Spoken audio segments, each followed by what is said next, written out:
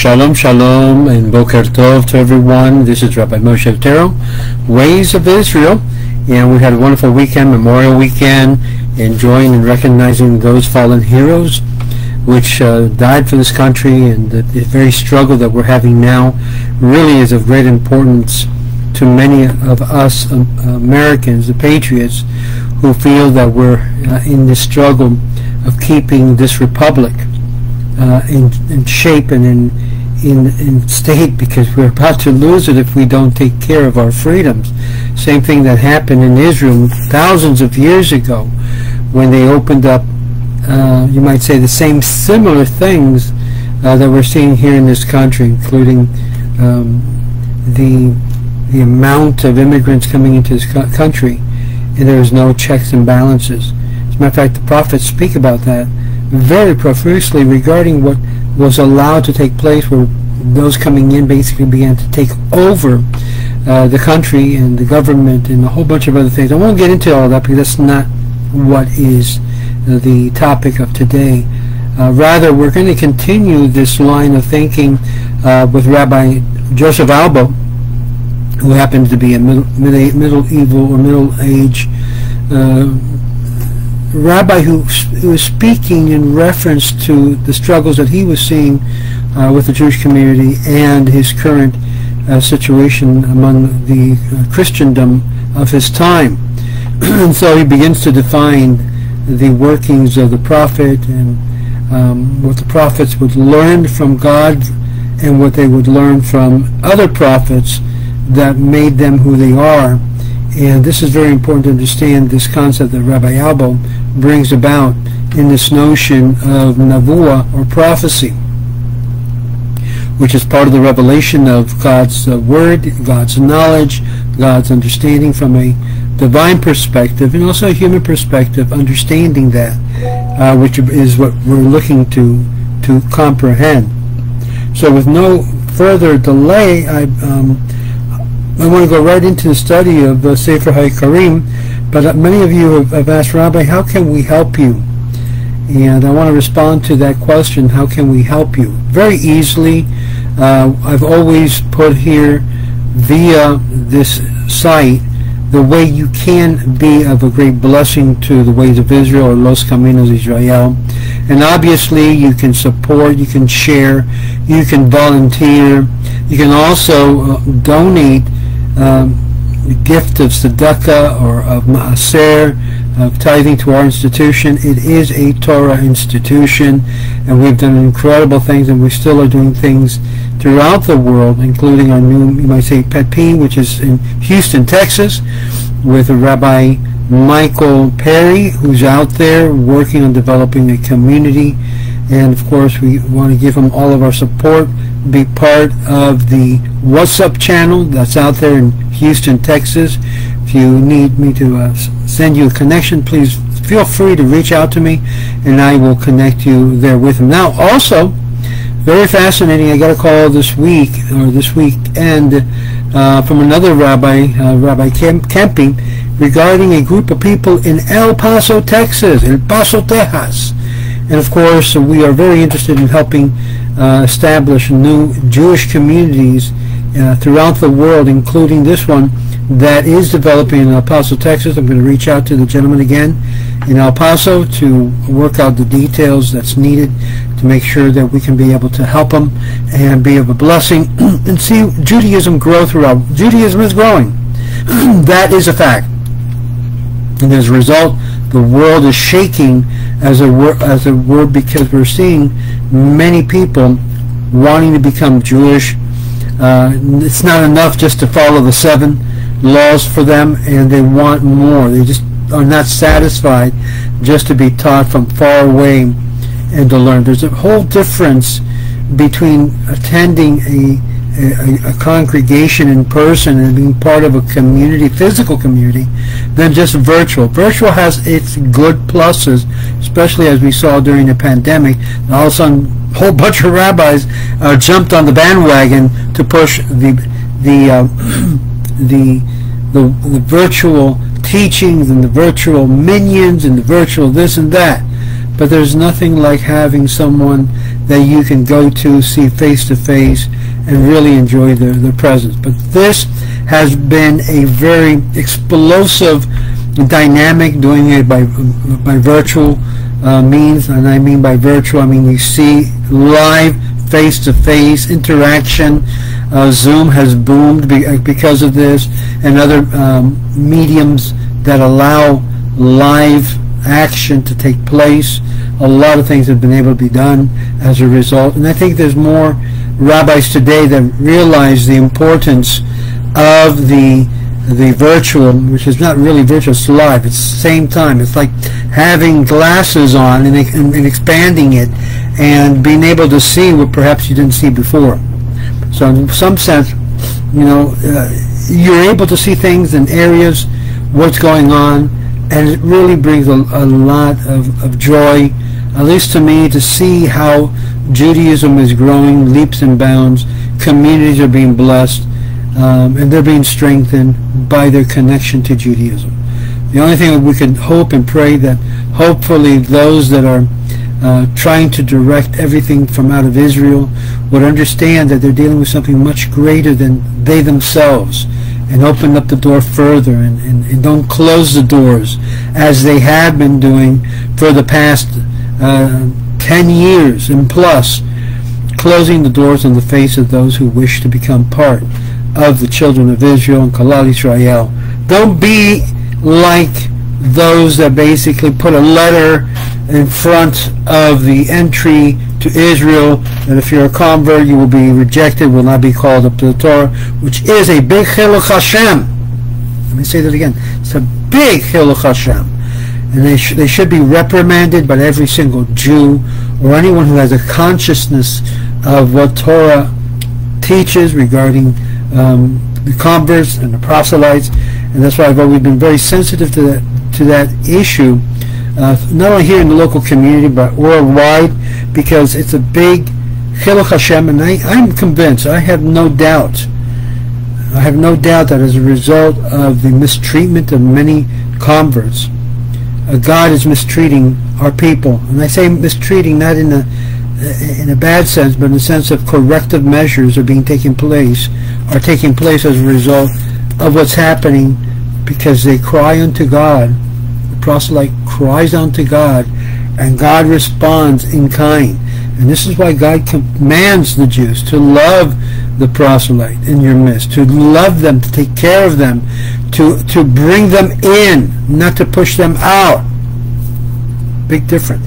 You know, you could be discouraged two, two, three times, but to be hit in the head, as it were, uh, with a full, complete rejection, there's no basis for that.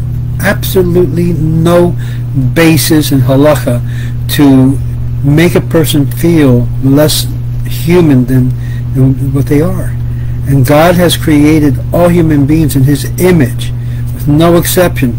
And there's no difference between a person who basically wants to join the, the, the Jewish people and a person who's beginning to understand, comprehend the Jewish message and is asking questions. Many of these people, they're coming from within the Abrahamic covenant. They're not coming from a Noahide covenant, although many of those who were involved in the Christian world, the Abrahamic covenant, according to the Christian concept, are leaving it to go into the Noahide movement, which is a brand new movement, as we know. Now, the laws are not brand new. The seven universal laws are not brand new. But the idea of trying to formulate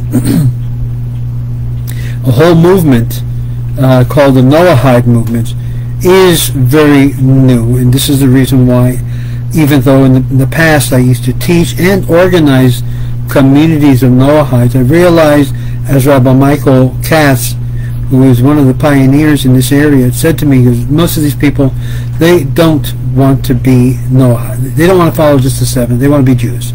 So why should we continue to be able to push on them the seven Noahide laws when in fact, when in fact, they're rejecting it. They don't want it. Another thing that always piqued my interest was the fact that in order to be an observant Noahide or followers, the children of Noah, they have to come before a Beit Din to accept upon themselves the laws according to what was given by the rabbis and by Moses, by the law of Moses. And this becomes problematic because there's no Beit Din, except I remember some time back, the in the Noahide movement, um, the Sanhedrin, the reformulated Sanhedrin, which I don't know where that stands today, um, it doesn't have the strength that initially it had, um, but it was working with creating uh, the rules and regulations in order for a Beit Din in uh, Tiberias to be able to recognize these individuals on that level before a court, um, a rabbinical court, to do so. We do have a rabbinical court that we can process these recognitions and make it a valid and recognizable uh, decision. But I discourage, personally, I discourage um, the idea of embracing uh, the Noahide, but rather push forward the conversion because you're going to be part of a family, you're going to be part of a people, and you're not going to be stuck in the the state of of um, of in between state because a lot of these people are coming out of Christianity and they're used to congregating and being part of a congregation. And in that situation, like I, I shared with a various one of you, you're in that process, stop. It's okay if you don't accept everything of Christendom, of the Christian theology, but it's better, and as you know, it's true, to be part of a, a congregation, a community, than to be completely isolated and singled out, completely set apart, separated from everything and everyone that is dear to you. So in that, in that situation, I follow what Rabbi Jacob Emden said in that um, Christianity brought upon the world a double blessing. We may not like what Rabbi Jacob Emden said, we may disagree with what Rabbi Jacob Emden says, but there's some major truth in what he stated when he said that. Notice he never said this regarding the seven universal laws. Rather, he said this only specifically regarding the founder and what he brought upon the world. And thus, and thus his words ring true even to the day. And this is the reason why I'm thinking seriously to do a study with Jacob Emden's material as to why he said these things. Obviously, it's preferable, as the Rambam indicates, to convert to Judaism, to be part of the children of Israel, to take hold of the Torah in all of its meanings and not just water it down to just seven or 33 basic laws. There's much more involved in following God's Word and God's Torah. Well, enough of that. Let's get into the Sefer HaIkarim in this morning's learning, which I find to be very, very important because he brings out, Rabbi Albo brings about there's a great difference between the thing which a prophet learns from God and a thing which is told to him by another prophet. A thing which a prophet hears from God cannot be abolished unless he subsequently hears from God a statement opposed to the first. Thus Abraham was told, Take now thy son, thine only son, whom thou lovest, even Isaac, get thee into the land of Moriah, and offer him there for a burnt offering. And later he was told, Lay not thy hand upon the lad, neither do thou anything unto him. Now Iddo the prophet was devoured by a lion as a punishment because he listened to the old prophet in Bethel, in Bethel, and went back to Bethel and ate bread there, and contrary to the order he had received directly from God, but any command that comes to one through a prophet may be opposed by a contrary command from another prophet. For this reason, God desired that all of Israel should hear from him directly the Ten Commandments, and that no prophet may have the power to abolish them in whole or in part. This is a very important statement which Rabbi Albo makes brings to the equivalence of all of Israel being like a prophet, a nation of prophets, of priests. This is stated explicitly in the scripture. These words of the Lord spoke unto all your assembly in the mount. And he wrote them upon the two tables of stone and gave them unto me. But there's a, some difficulty in connection with the statement of the rabbis at the end of the treatise of Makot, and that of the first two commandments which were heard directly from the mouth of the all, all-powerful, the omnipotent, and that strength. This is strange, for the Bible says, And the Lord delivered unto me the two tables of stone written with the finger of God, and then and on them was written according to all of the words which the Lord spoke with you in the mount out of the midst of the fire in the day of the assembly. And again he wrote on the tables according to the first writing the ten words, the ten sayings, which the Lord spoke unto you in the mount of the midst of the fire in the day of the assembly. And the Lord gave them unto me. And from all of this it appears clearly that all Ten Commandments which were written on the tables were spoken to all of Israel. How then can he can the rabbi say that the, that they heard from God the first two commandments only and not the rest? Well, Maimonides in his, his guide of the perplexed says, and this Rabbi Albo is quoting, says that the expression of the rabbis they heard from the very mouth of strength means that they heard them from the very force of rational demonstration. For his idea is that first the commandment teaches the existence of God, and then the second, the unity of God, both being principles which can be proved by reason, and it is also the opinion that a thing that can be known by reason is equally known to the prophets and the layman. Hence, although they heard from the from God, these two should not be counted among the commandments, but the other commandments belong to the class of things known by tradition which is or is generally accepted. Hence, it was necessary that they should be heard from God. And the rabbis don't do not speak of them as having been heard from the mouth of strength. So far, Maimonides. Now, since they, they agree that Israel heard all Ten Commandments from God, his words require examination. It's true that the first commandment teaches the existence and unity of God, while why, it was necessary to reveal these two commandments through the prophetic inspiration. Human reason is sufficient to prove them, and anyone denying them can be compelled by rational arguments to acknowledge the truth. There was more needed to be revealed through the prophetic inspiration, those things which human mind alone cannot discover. And there are, hence, there are greater uh, objections to Maimonides' opinion that he says in the book of Mada. Mada, the, the heathens argued as follows. God created the stars and the spheres to control the world. He placed them in heaven and showed them honor. They are his, they are his servants and they serve him continually. Hence they deserve praise and glorification and honor.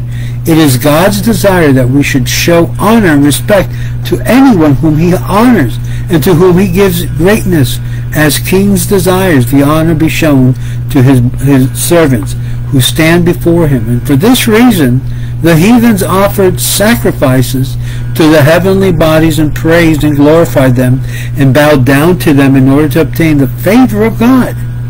Such was the erroneous opinions in the second chapter of the same treatise, he says it is not proper to serve them, the stars, as mediators between man and his creator. Now, the question I have the following. Talking about serving these as mediators, which we have, and Albo, as you will see, will have an issue with this whole concept of Mashiach being a mediator, which was basically the, ve the very throng of the Christian argument that, that Mashiach or the Christ or however you want to call the, the coming of the Mashiach, that he served as a mediator between God and Israel. He was to be even to the point of to be worshipped according to Christendom and according to other groups in Judaism. According to Maimonides' opinion, therefore, since reason might seem to favor the worship of stars and spheres and constellation on the two grounds just mentioned, the first commandment should have warned against it Instead, concerning themselves or itself with God's existence and unity, which not even the heathens denied, according to this opinion. My opinion says Rabbi Albo. So let's take a look at this. Baruch Eloheinu melech haolam shehakol My opinion is that the heathens were led their wrong worship by different reasons. In other words, the heathens basically worshiped erroneously.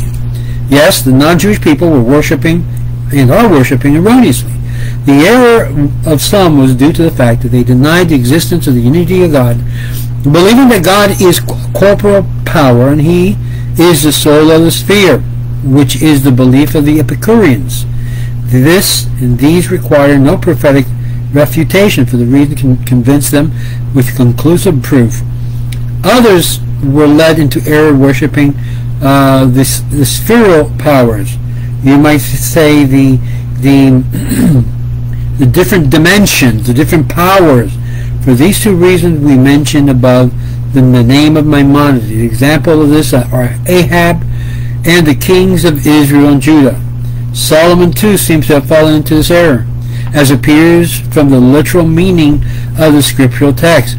All of these men believed in the existence and unity of God in prophecy and the revelation of Torah, and yet they fell into this error, either because they thought in this way to honor God, or because they thought of making mediators between themselves and to God, as Maimonides says. There is still another sect of men who erroneously incline to idolatrous worship for a deep, deep, deep reason, they hold with some of the philosophers that God has forsaken the land. Believing the existence and unity of incorporeality of God, they hold that God has to care for the lower worlds at all, thinking it's a sign of greatness in God. That he pays no attention to human species because man is inferior and despised by him, him being God. They think it is a virtue and a sign of nobility in God to refute attention to that which is inferior, saying that in respect to the inferior thing, ignorance is better than knowledge. Job, or Job, inclined to this opinion when he said, What is man that thou should magnify him, and thou should set thy heart upon him? Therefore he thought that the lower worlds is controlled by the spheres, referring to such powers in persons, as David said, Who exalts thee with a wicked thought? That is to say, they exalt and lift thee up. By his exaltation is a wicked, is wicked thought, and that they they say that thou does not pay attention to particulars, because the thing that thou, thou think that it would be a defect in the nature of God, and, he, if, and if he took account of the particulars, since this would necessitate his being favorably disposed at one time and angry at another time, and to and and so with other qualities which indicates change in us, and therefore would have argued in the defect in his nature as he changed from favor to anger. The opinion, therefore, is that the lower world is governed by spheres and that God has no knowledge of it at all. He's completely, as it were, removed. They also say that God created stars and constellations and angels to rule over the lower world. Reason why you see a lot of these Kabbalists, these mystical esoterists of today, always looking and asking questions as to what is your sign, what is your constellation, what day were you born, at what hour and what minute, or let me read your palm, let me see the lines of your hands. My friends, if you have any rabbis like this, stay away and run for your lives from such persons. These are what um, many other rabbis call sheker Kabbalists. Stay away from them. If you see them toting these type of symbols and so forth, they're no different than the uh, diviners and enchantment uh, predictors of the past but now they're modernly made here today so they can be able to deceive and dissuade people in the belief of one God. They also say that since God created these stars, the angels rule the angels to rule over the lower world and assigned them to dominions over the nations, as we read, which the Lord thy God hath allotted unto all thy people under the whole heaven, and influence comes through them, we must prepare ourselves to receive the influence from them and must worship them since they control us and exert influence upon us. this was the opinion, by the way, of the accursed woman who said to Jeremiah, But since we left we are left off to offer to the Queen of Heaven excuse me the Queen of Heaven happens to be the same Madonna figure that you see in a lot of the different religious symbols. The Queen of Heaven is usually a, a virgin who has a child who has stars over her head. This is the Queen of Heaven. Ancient paganism of the old time. It was poured out drink offerings unto her. And would have wanted all things. This is what this woman, this accursed woman mentioned, that, uh, that Albo mentions about Jeremiah. They say also every one of the seven metals is peculiarly, peculiarly related to one of the seven planets. Gold, for example, corresponds to the sun. Silver to the moon. Lead to Jupiter, and so on. And when we figure, and when a figure is made of a certain metal at a certain hour, corresponding to the star, in, is in a center position in relation to the stars, the spiritual influence of that star in question. Hence comes the worship of the figures of the heathens, made by the heathens. You know, those of you basically who are still involved in Catholicism, you know very well how the Virgin Mary and the statue is worshipped and idolatrized, just like uh, in other figures in other parts of India and uh, other parts of the world where they worship the, the Madonna figure it's the same thing. It's idolatry. And they also say that a drop of human seed, I want you to listen to this. This is what Rabbi Albo is saying, having the knowledge of that he had regarding Christianity. And they say also that a drop of human seed enters into the uterus at a moment of a certain position of the diviner or prognosticator by virtue of a spiritual influence of the star and may even obtain a high degree that he may be worshipped himself like the figures which the ancients made. This was the error, error of Pharaoh and of Hiram, the king of Tyre, who made themselves God, and of Nebuchadnezzar, who made Daniel an object of worship. yes, Daniel, they made them to worship him, as we read, and they worshiped Daniel, and commanded that they should offer an offering and sweet odors unto him. All of this was error and due to the fact that they did not believe that God takes care of the human race. Now I want to ask you, they did this to Daniel. Did they not do this to all of the holy men of the children of Israel, including David, including all of the kings, including all of the leaders? We have many instances, both in Jewish literature as well as non-Jewish literature, how the nations of the world would bow down and begin to worship Jews there was no difference during the first century regarding this, and this is where Albo is leading the conversation to how they took a Jewish Orthodox man and they transformed him into a divine human being, a God-made man, just like with Caesar. And this brings the point to the forefront of this argument of Rabbi Albo. And such uh, as this opinion sounds very plausible, so as far as reason goes and was very prevalent that the time when the Torah was given, God was concerned about it and wanted to eradicate it completely. God is not pleased with this type of service. And it could not be eradicated through a prophet, for one who denied providence and revelation would deny the divine origin of prophecy in which the religionists believed. God therefore wanted to show as firmly as possible the refutation of this idea as well as the idea of the absence of the providence and the sign of greatness, and the idea of making the heavenly bodies mediators between man and God. This end he accomplished by showing to them that there is there is a, such a thing as prophecy and revelation of a law to guide men in the right path. But this cannot be unless God does provide for man. This was made clear to them when they received from him through prophetic inspiration face to face the first two commandments.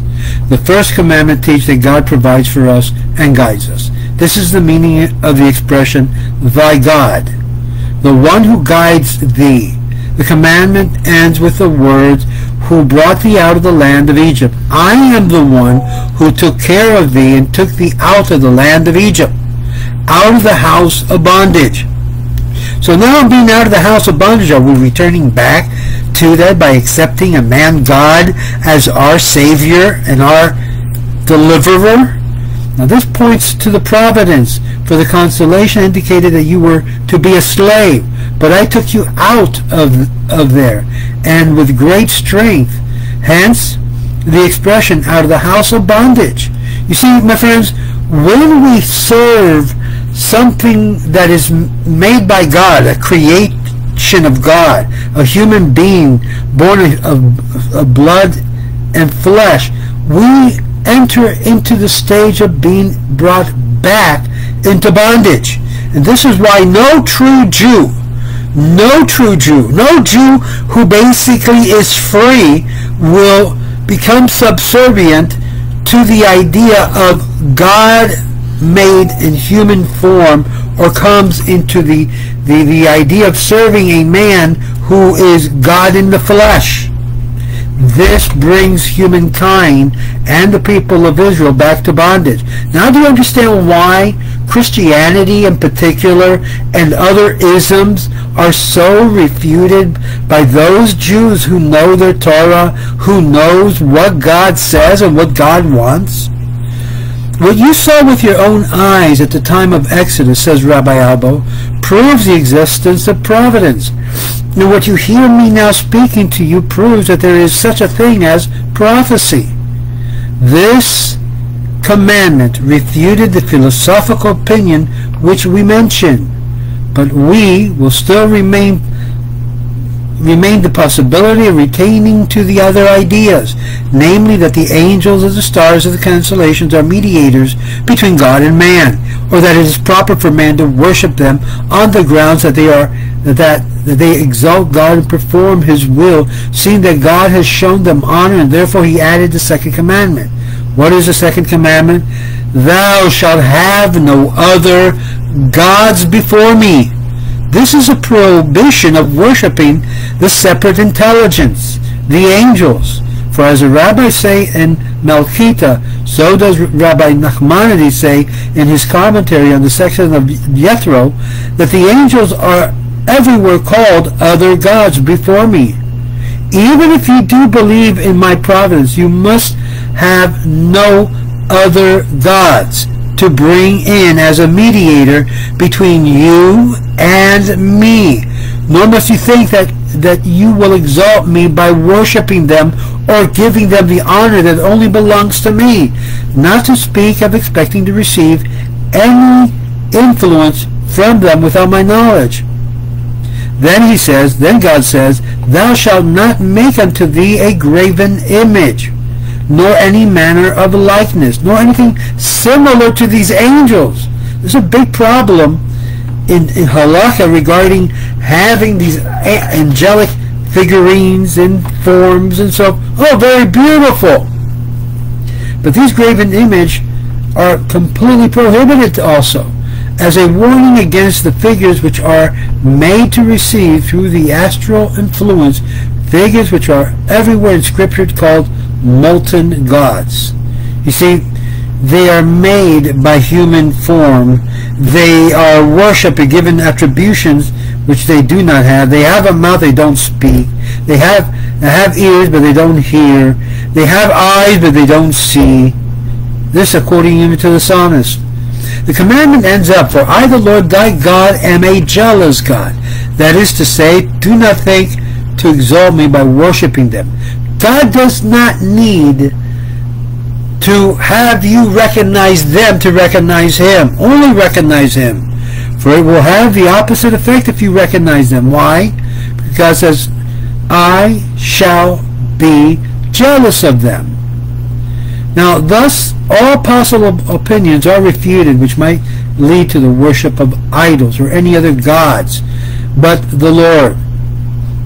But God was not concerned to refute the opinion of the Epicureans, who denied the existence and unity of God and thought that God is the soul of celestial sphere. For he can be convinced by the conclusive rational argument, whereas the other opinion needed refutation as we have explained. Thus, our explanation that our explanation of the purpose of the first commandments, namely to refute the opinions of the philosopher, is correct. Is proved by the fact that the immediately after the Sinaitic revelation Moses was told, Thus thou shalt say unto the children of Israel, Ye yourselves have seen that I have talked with you from heaven. Ye shall not make with me gods of silver, gods of gold. Now this is a very powerful statement because many have made from the silver and from the gold into deities or divi divinities. And yet here we have this combination of God of gold, God of silver. And it seems very strange that immediately after the Ten Commandments that we have again the prohibition of idolatry, which have been already for, forbidden in the second commandment. But the meaning is that God being exalted in the dwelling in heaven, so too dignified to have anything to do with his corporeal um, his corporeal thing, and that he does not provide for the human race because man is inferior and despised and, and despised and unworthy of, of such dignity. And the idea that there is a seed of figure or a need of figure or mediators between him and through and through uh, the creation. Such idea between him and, and us through through whom God's spiritual power may descend, these were the causes of Israel's major mistake in making the calf. Therefore, he says, ye yourselves have seen that I've talked with you from heaven. That is to say, you have seen that I have I am exalted in heaven. I lowered my dignity and did not refrain from speaking to you, though all of you, except Moses, were unprepared for such dignity.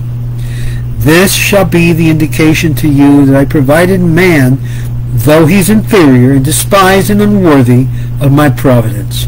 Therefore you shall not make with me gods of silver and gods of gold, so, so as to cause my spirit to descend, for my influence can be obtained with something less valuable.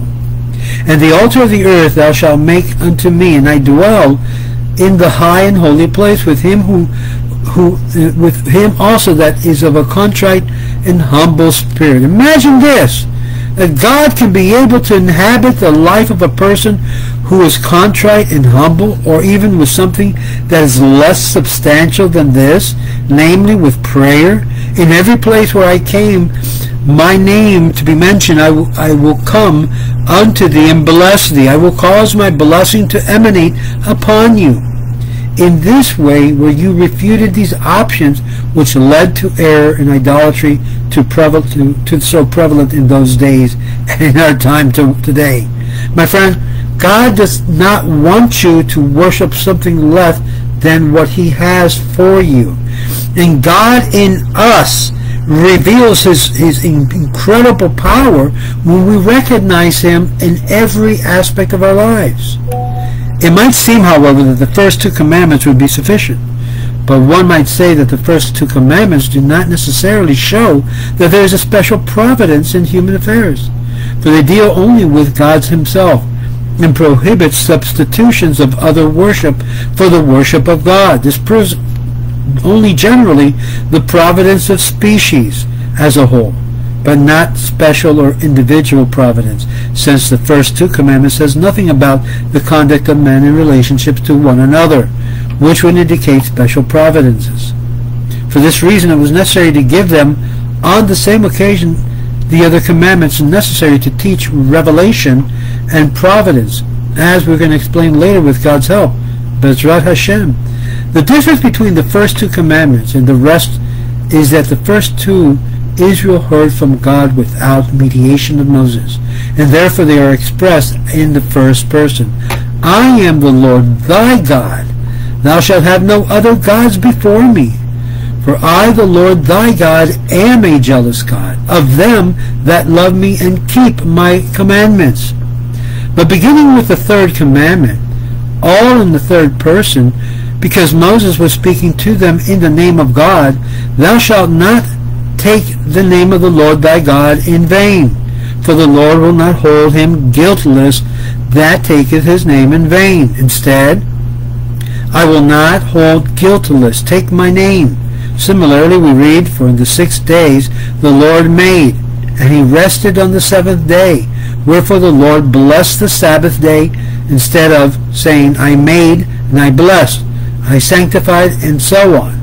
This shows the difference between the first two commandments and the rest that follows. The first two they heard directly from God, without mediation of Moses. So this is why the idea of the unity of God and the oneness of God does not only apply to the children of Israel, but everyone that was there, the whole entire nations of the world heard what was going on. Heard far, but they heard this transmission to the children of Israel. This is what is meant, the rabbis mean that they say that they heard the first two commandments from the mouth of the Almighty, by the very powerful God. The meaning is that since God spoke these two commandments to Israel himself face to face without the mediation of Moses, no prophet has the power to say anything against them or to weaken them in any way, even a temporary measure. This is why they use the expression from the mouth of the Almighty and not from the mouth of God to indicate that anything which is told through the prophet to another prophet has the, has the power to abolish, either as a temporary measure or as a circumstance to determine for the instance of Jeremiah, abolish the counting of the month of Nisan or from Nisan. But that which is told to a person by God without the mediation of a prophet, no prophet has the power to abolish even something temporarily. Hence the statements of the rabbis. If a prophet tells the people to worship idols, even temporarily, he must not obey. Why? The first two commandments encumbers and covers that prohibition. If a uh, anyone says, worship this man who's God in the flesh, bow down to him, we are to not listen to that preacher, that prophet, that naysayer. Completely reject him. Well, you know, uh, JC is God. You got to bow down to him. He is Lord of. No, you don't. No, the Rebbe is the very Ein Sof in human flesh. No, we don't listen to that. It goes against the word of the first two commandments that thou shalt not have any gods before me. And yes, my friends, a human being can be considered a god. If a prophet tells the people to worship an idol, even temporarily, he must not be obeyed. But if he says that we should violate the Sabbath, or transgress some other commandments as a temporary measure, say even to save a life, even permanently transgress some one of the commandments, uh, provided he does not subvert the very foundations of the faith, we must listen to him because it says, Unto him ye shall hearken. And he says, God commanded me that you shall pray to a certain star, a certain angel that should be a mediator between him and you. We must not pay any attention to him. And because it's in opposition to the first commandment, we heard from God directly, and no prophet may listen to another prophet trying to abolish something which he himself heard from God, as we have explained. And thus, Rabbi Albo establishes as a basic foundation, very basic, the idea that if anyone says worship another thing aside or next to or shituf, then God, we are to what? Not listen to him. It's a false prophet. It's a false preacher. It goes against to what God himself told the children of Israel face to face, and we heard it all from the time of Moses.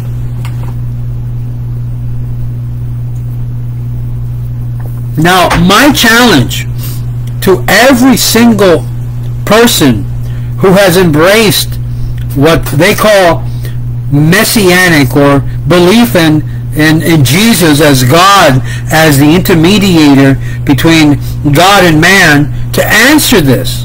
Because obviously this faces a major challenge to many of those Jews, I'm referring to Jews in particular, that have decided to be go messianic, that decides to go against that. If you give any honor or pray to Jesus as a mediator and you're Jewish, you're going against what God told the children of Israel in these first commandments. And this is exactly what Rabbi Albo is saying in his treatise of Sefer HaIkarim, based on Torah, based on rabbinical tra- uh, tradition, and based on rational logic from within the Torah itself. This is why it becomes so problematic, problematic for a Jew for Jesus to say that they believe in Jesus as a mediator, as an intercessor between themselves and God, is completely goes against the very basic foundations of the first two commandments of God's commandments. Now, this is not required by the nations of the world. As we saw earlier in Rabbi Albo's entire uh, lecture, that in fact it's permitted, but it's permitted based as an error, as doing it wrong. Now here we come what's going to happen in the last days. In the last days, we are told clearly that the nations of the world will wake up to the reality that there is no other God but God, that there is no intermediator between God and the whole creation. Only God are we to invoke and seek his presence and face and his will. Not a human being, not, not a Messiah, not a Christ, not a Mashiach, not a, uh, a Medi figure, only God. And the only reason we listen to a prophet is because these two commandments, if they're not violated and he upholds, then we can listen to the words of the prophet.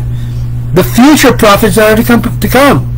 But if they come in with this makeshift new idol or new service or new worship, like what happened in the first century with Jesus, what happened also during the time of Shabbatai Tzvi, what happened also a more recent time where they made um, uh, the, the, the the, the Mashiach figure into the, the whole of all, that if you don't believe in him as Mashiach and to be the, the end of all, you are not uh, truly in the true belief, that's falseness, my friends. And this is why it becomes very fundamental, becomes very basic, that anyone that leads you on to the wrong way as a Jew into the belief that A is somehow divinely uh, empowered in a human clothing as God in the flesh is misleading you not only misleading you, it says it goes right against these two basic commandments that God told the whole people of Israel, my fellow Jews that are listening.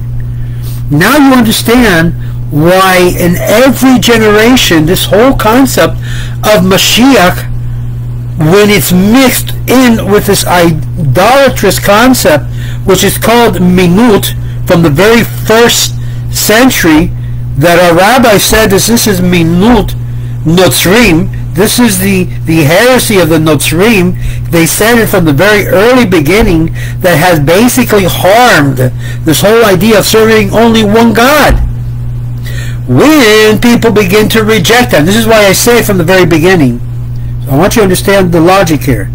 When a Christian moves away from believing in Jesus as God, they have moved in such a way against the very foundation of what idolatry is, and have embraced the idea, I will serve only God, as indicated by the laws of Moses, and if you want to say, okay, the commandments that Jesus taught us to follow the teachings of the rabbis, as indicated in Matthew and other passages, then what you're doing for yourselves and for those around you, you're basically disconnecting yourself and becoming disconnecting for yourself from the idolatry that it has been retained within that system of belief. You're not denying God. You're affirming the belief in the one God. And this becomes stronger than ever. So the question is begged, and this question has been begged by many of you who happen to be messianics. Can I still follow so and so as you know as as as a leader, but not follow the, the idolatrous ways of the Christian world? And I usually answer for a non-Jew, yes. It's permitted for you. But it's still, there's a lot of things in it that you're not able to distinguish between A and B. You can fall back into that resource. Now, obviously, if you decide to basically leave it all together and embrace Judaism by through the form of conversion, it's much, much better and it is much, much encouraged. Even the Rambam encouraged that. And if you don't want to do that, at least make the commitment to follow seven universal laws. Which, like I mentioned earlier, for those non-Jews that are accustomed to be congregating, you'd be better off remaining and denying and negating that of this basic principles of that a human being is God in the flesh and follow the concept that only God can be prayed to. But the problem, this is the this is the earnest problem. You cannot so easily remove yourself from worshiping only God and then going into a congregation in which they are constantly invoking the worship of a human being as God in flesh, born of a virgin, like we just talked about, which just Rabbi Albo and, uh, spoke about. And this becomes the challenge to many of you in the Christian world. You'd be better off converting over to Judaism, becoming a Jew, and saying, I am Yehudi. I cannot fathom the idea of being attached to idolatry in the way that I was before.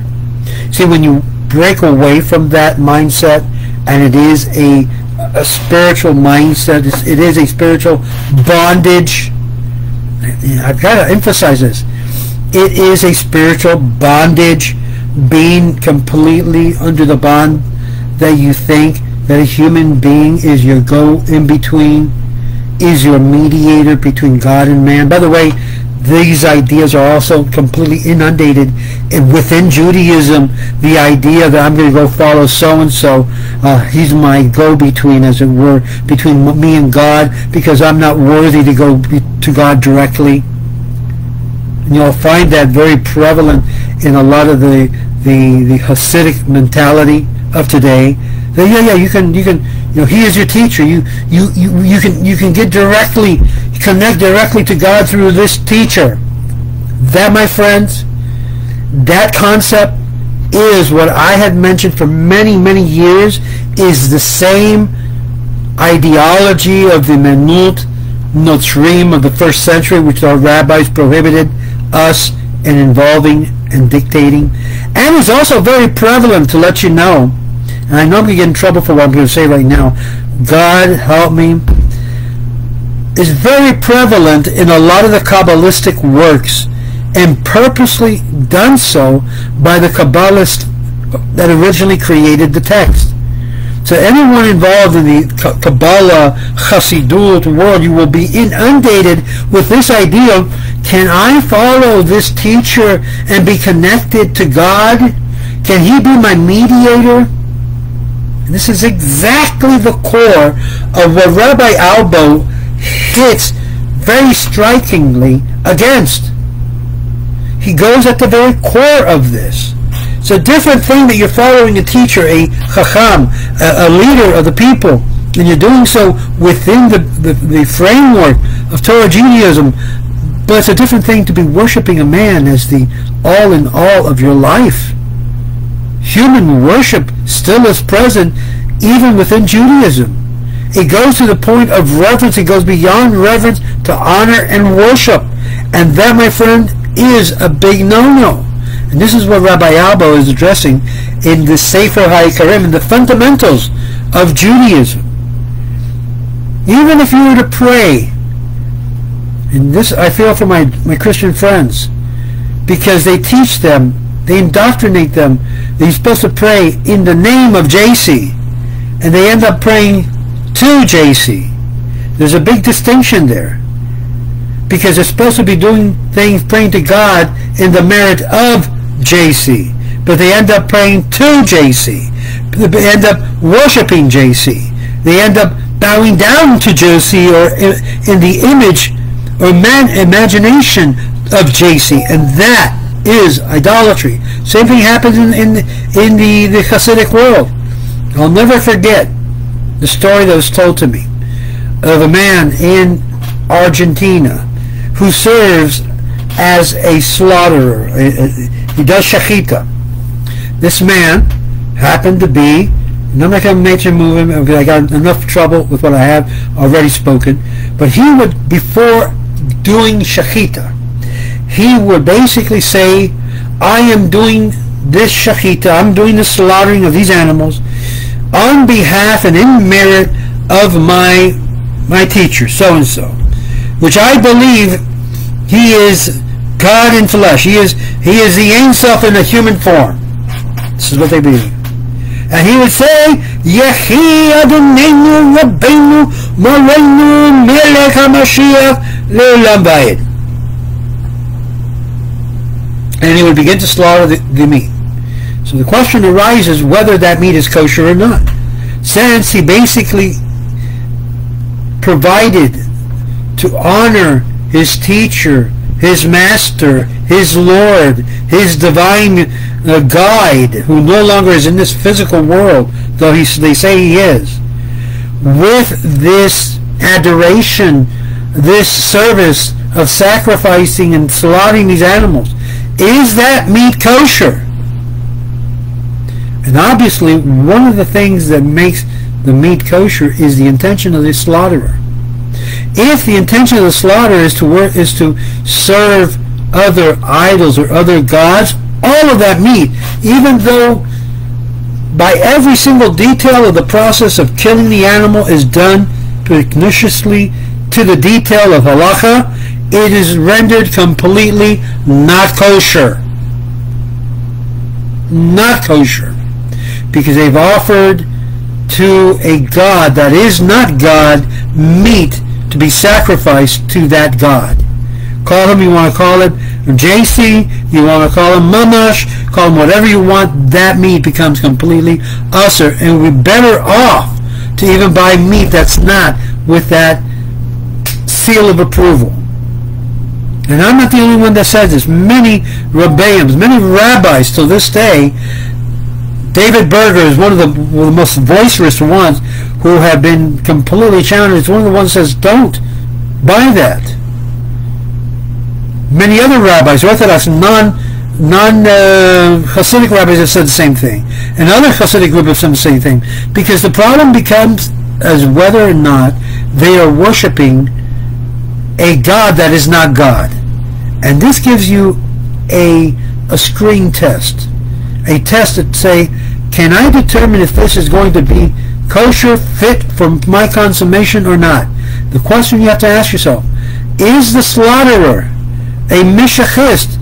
Is the slaughterer one of those guys that basically believes that the, the leader of that movement is, is, is physically God in the flesh or was physically God in the flesh? This was happening in first century Christianity. We had the same issue also 2,000 years ago has been repeated throughout the history. Once the Jewish people embraces the idea that God, we go to God directly, no mediators, then you free yourself from the bondage of what it is having a mediator and going direct to God, which means that you have to prepare yourself to meet your God on a daily basis. That's completely different than what they're teaching today. And my friends, this is the reason why they ask me, Rabbi, do you you do you promote the idea of, of having people learn Kabbalah, of learning the, the esoteric? You know I tell them very simply? No. Stay away from it because in the actual text till this day there is a lot of contaminations of the minut that the very Kabbalists put into the text and has been very, very well knitted within the actual text message that would make it very easy for a new Christianity to arise. And it has. So this becomes a major thing that we need to be aware of. We need to be aware that where your food source spiritually is coming from is pure in the sense of does not go in confrontation to these two commandments that has to do with idolatry and the service of of other mediators between you and God. You know, there are a lot of things, music and so forth, I really love. And what makes a lot of the music non-kosher has to be has to do with this same point. Very moment that they give honor and glory to a particular human being, it's idolatrous music. People don't understand that. It becomes idolatrous. And believe me, a lot of people love gospel music as a genre. They love other music that is serves to, to worship God. But the very moment the words and the rhythms and the association is connected to idolatry, it becomes prohibited. There's a way to reform it. There's a way to, you might say, uh, purify it, but I'm not going to get into that with you guys in this video. But there is a way to transform it and make make it kosher. And Albo goes into chapter 19 from this clear divine law that cannot change in respect to the three general principles he had mentioned. And it's within these two commandments from God that makes it clear that we, even if a prophet from God, who produces miracles from God, if they violate these two basics and teach others to do the same, we are in our right to reject that prophet and not even pay attention, to ignore him and ignore any threats that may come from him or his movements of, of eternal condemnation. And this is the basis, this is the chutzpah, this is the validity that we as Jews have and be able to say with all of our hearts, yes, we're not afraid of any condemnation that this guy JC throws at us because of his movement and because of people basically worshiping him as a god. We're not afraid because God himself says you are being tested and you have the right to reject that person, that movement, that entire group of people who basically is pushing their idea of salvation through a human being as the divine mediator between God and man. Even if another person in the book of Acts says there's no other mediator that was given except this man. We must and do reject the words of those individuals as going against the words of Moses. So the problem becomes equated which words are more factual and which we must listen to. The words of Paul, the words of those disciples who followed this man and made into this man a complete idolatrous movement, or do we listen to Moses and do we listen to God? Obviously the choice is clear. We listen to God, we listen to what Moses basically gave us because the children of Israel heard God directly. We didn't have no mediators. We will not have any mediators. Even all potential messiahs to come have to surpass, has to jump these two obstacles. They don't meet these two obstacles and they begin to lead other people to worship them, to follow them, and to become they, the very centerpiece of their whole entire movement, we reject it as they are trying to become an intermediary between Israel and God. And there is, according to this, these two commandments, no intermediary between God and the children of Israel. God and the children of Israel goes direct. There is no mediation. This is very well, but, but wait, wait, wait. You say there's no mediation. How about Moses? Moses himself is laying down the order. They believed in Moses as God's prophet, but not as God. Yes, he was called a God, but they never worshipped Moses. That was the work of the adversary who attempted to take the body of Moses and animate it to be able to get people to worship him. And God said, no, no. That was a big no-no. And that's why till this day, the Jewish people don't worship Moses. They highly esteem him. They highly follow his rules and laws. And the two laws that Moses did not emit are these two laws that Rabbi Albo makes mention in the book of Exodus and throughout the Torah.